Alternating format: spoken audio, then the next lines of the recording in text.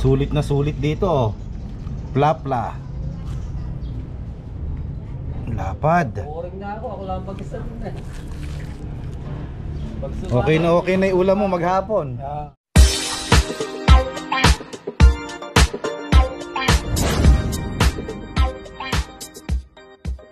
Kaya nga kami ni Betchay eh.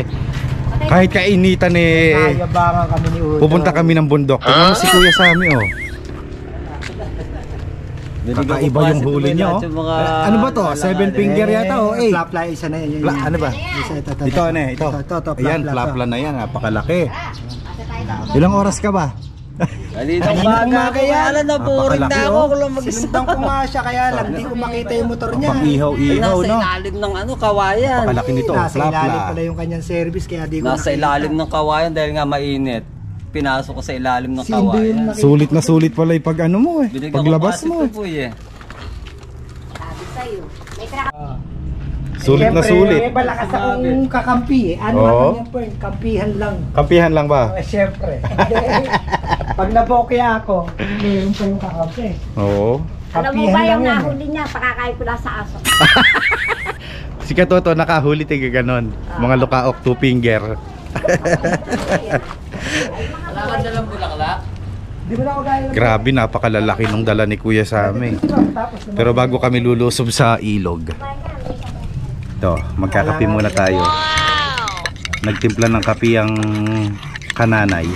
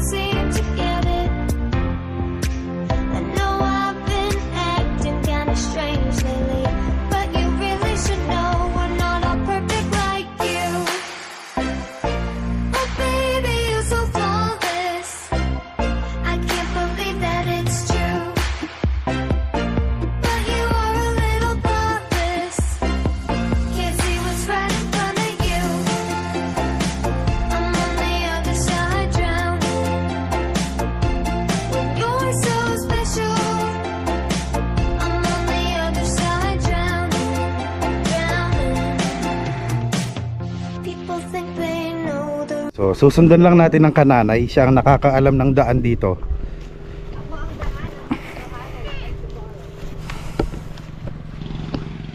Pakababaw. Ay, doon tayo sa mainit niyan. Hindi ah. So pag hindi mababaw ang ilog, ang tubig andito. Oo. Yeah. Ayun, dun pa pala oh. Sa sulok. Sobrang babaw nga ng ilog ngayon. Pagka nagkatubig to nako, napakalawak. Ayun yung puno ng kawayan. Oo nga ano. Talagang natitibag. Yeah. Natibag yung ano, yung lupa dito sa ilog. Ito dati nasasakahan pa to. Nasasakahan pa yan, natatanggal pa yan ng mga mais. Ah, ito. Hanggang dyan sa may kawayan ano eh. nagpas pa. O, d- so ganun lang kakitid dati yung ilog. Ganyan talaga kalapad yan dati. Oo. Tignan mo itong mga puno. Ayan, na, nilamon na rin ng ilog yung kawayan. So, mada, so malaki-laki ng kuwan. Hektarya na yung nilamon ng ilog. Ay, natitibag oh. Diyan ba galing si Kuyang? Mas malayo.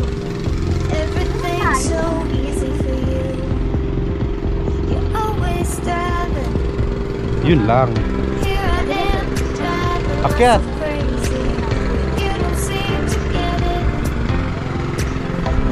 Madulas, madulas.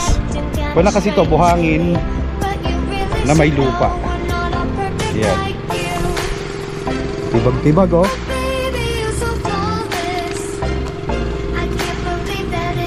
Malayo nga lang ang lakarin dito kasi pupunta tayo sa malilim.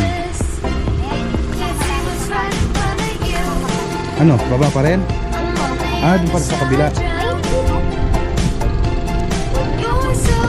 nandito na kami sa spot. Welcome, welcome uli sa ating fishing adventure. Siyempre kasama ko ang nag-iisang kananay. Ayan o. Napakalawak ng tubig na to, yung ilog na to. Yan, samantalahin natin habang mababaw siya. Kasi pag ah, once na malalim na to, hindi na tayo makakapwesto dito. Mahirap na yung pwestuhan dito sa ilog. Kasi wala na siyang, ang tawag dito? Pasigan. Wala na siyang pasigan. And hindi tayo basta-basta makakapamingwit pagkagaling pinababaw dahil walang isda. Set up na tayo ng ating pamingwit nang tayo ay makabuhay na mano na. Ayan, all set na. Nakahagis na din yung ating pamingwit. Ayan na siya, oh. At yung dalawa kay Betchay. Mag-antay-antay na lang naman tayo ngayon ng kagat.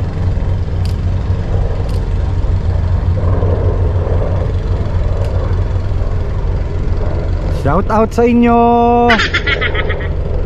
Baka may dala kayong Nutriban. Isa pa naman tayo ng sulo. Oh, tigisang sundo lang kami. Mamaya pa, alas 5.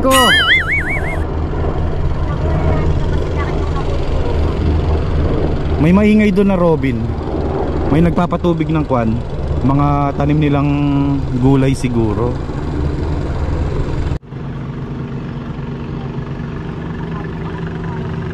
Yun oh. Fish on mga master.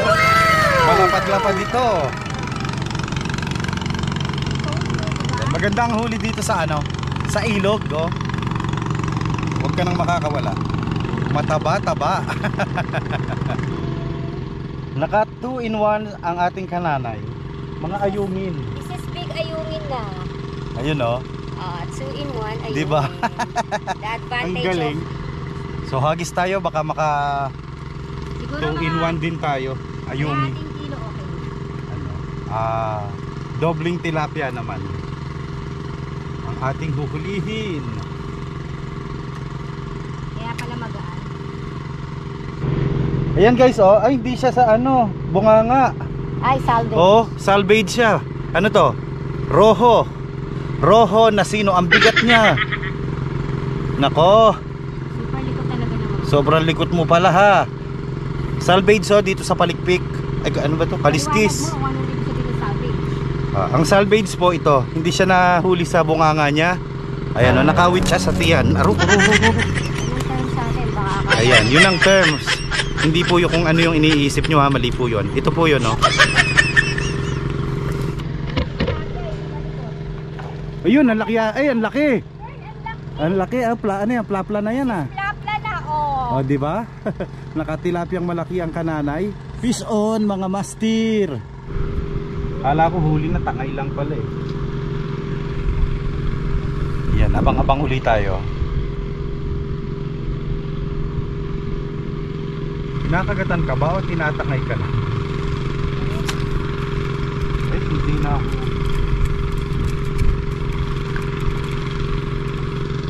Ay, kain oh. Ubus ang pain.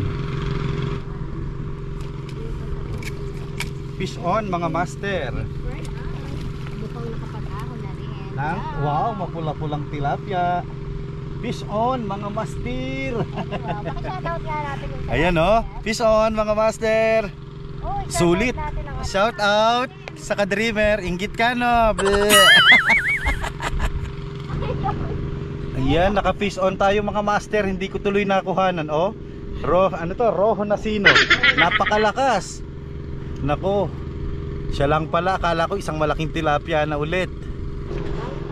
Ayan, may kasama kami dito. Ma- naglalagay sila ng nag-uumang sila ng panty. Ayan. Ayan, magtsuhin. Tamang-tama yan para maitaboy sa gawi dito yung isda. Pero hindi naman siya umabot dito sa pwesto namin ni Betchay. Ano lang, malapit lang. Kasi matutulpo.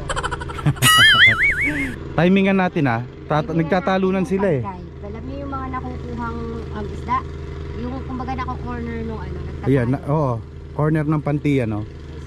Ang lalaki ah. Jump, jump, jump. Baka naman magtalo.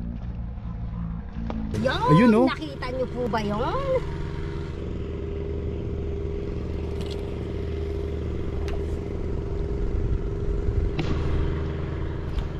Ayan, ladies and gentlemen, paborito tayong kagatan ng Rojo Nasino. Ayan oh. Uy, ang likot.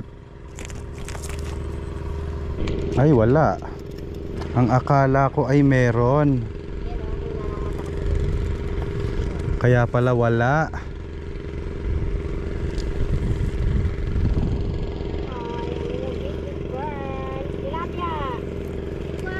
You know. Yan. Tilapia tayo ngayon. Sana puro ganito na, wag ng roho na sino. Yeah, roho. Kailangan mo experience. Hindi okay na ako sa roho. Okay na to oh. Ang ganda talaga ng ano, ng sukat pagka ilog. Muli, ayan oh. Pagka napatid, aabangan ko dun ha. Ayan, huli check tayo. Ito na yung huli namin ng inyong kananay. Masaya dito sa ilog. Masarap makahuli ng mga good sizes ng mga tilapia. Yan. Shout out sa mga team malalansa. Ayan oh.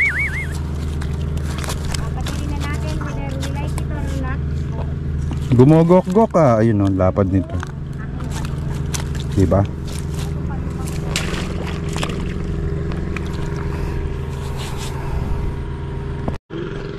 Ayan guys oh. Nakatilapia ang kananay. Magandang size talaga dito. Mamula-mula oh. ito na yung aking pang-aba. Ayan, rosy chick yung kanyang nahuli ngayon. May pagkatisoy na may pagkabaluga. Aray ko. Time check, 3.49 in the afternoon. Medyo tumuma lang mga kagat ng isda. Pero nagtsatsaga pa rin kami. Maaga pa naman. At saka lubog na yung araw. Wala nang init dito. Malapad-lapad daw yan. Oh. Check natin, check natin kung malapad. Hindi naman malapad na. Ah, okay naman. Okay lang. Pwede na. Four finger sa'yo yan. Porque malit yung aking fingers. Grabe siya.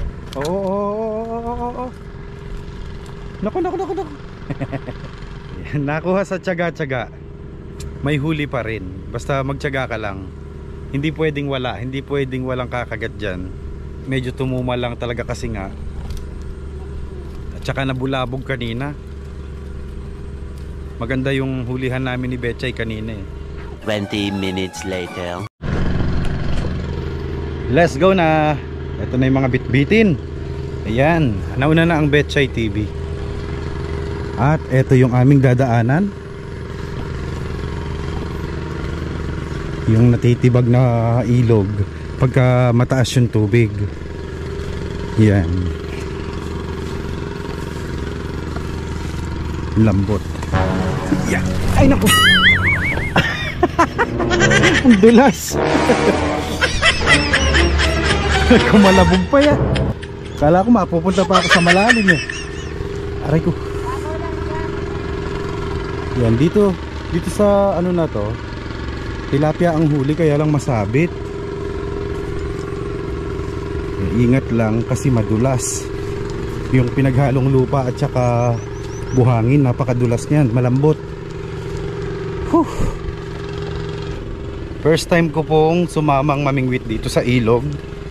Dati kasi sa mga sangka-sangka lang, sa mga maliliit na tubig lang ako nakakasamang mamingwit.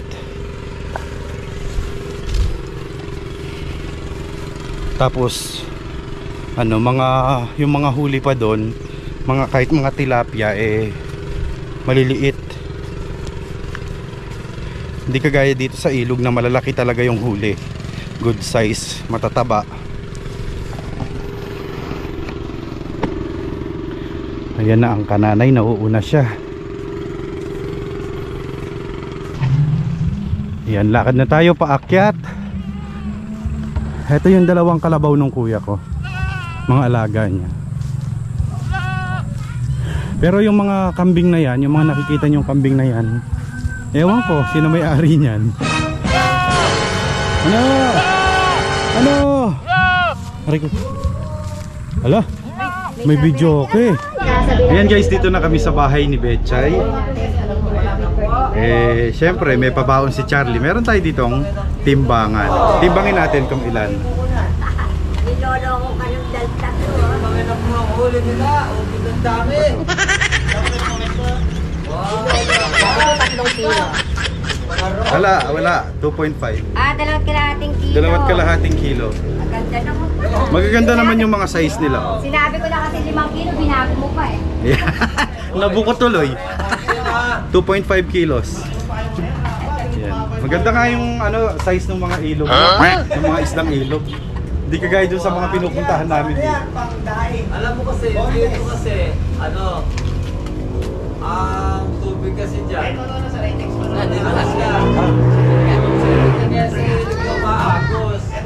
A few moments later.